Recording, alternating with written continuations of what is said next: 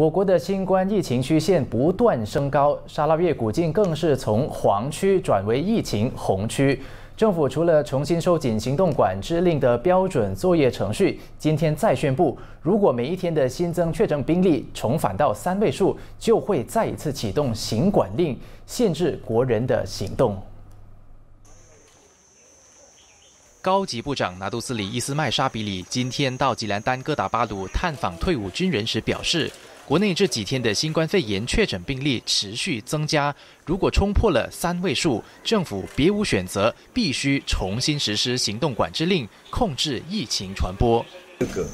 Kita dah lama dah satu angka ni, tiba-tiba menjadi dua angka. Dan dari segi laporan Kementerian Kesihatan ialah kerana kealpaan kita sendiri. Lalai, kita dah lalai, kita dah lupa dah. Kita dah lupa dah, akhirnya kita langgar SOP, yang akhirnya menyebabkan uh, kes ini mengebak balik. Dan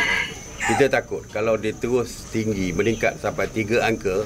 kita terpaksa tutup semula PKP akan dilaksanakan semula dan jika PKP dilaksanakan semula tentulah yang sukarnya adalah kita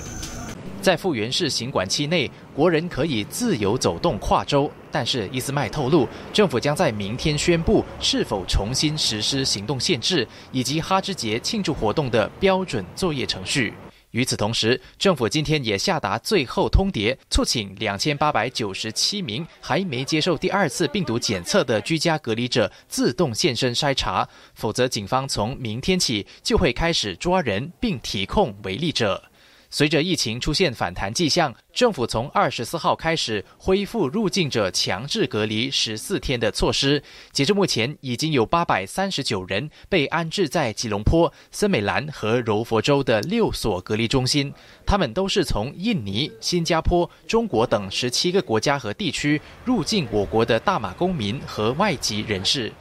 另一方面，卫生部发出警告：一旦我国的新冠病毒基本传染数 R 零值超过一点六的危险水平，不排除确诊病例会在近期内暴增。数据显示，目前的 R 零值处于一点三六，比起六月九号有条件行动管制令结束时的零点三高出许多。卫生部解释，这和新增确诊个案以及感染群有直接关系。R 零值越高，意味着感染的人数越多。马新社电视采访报道。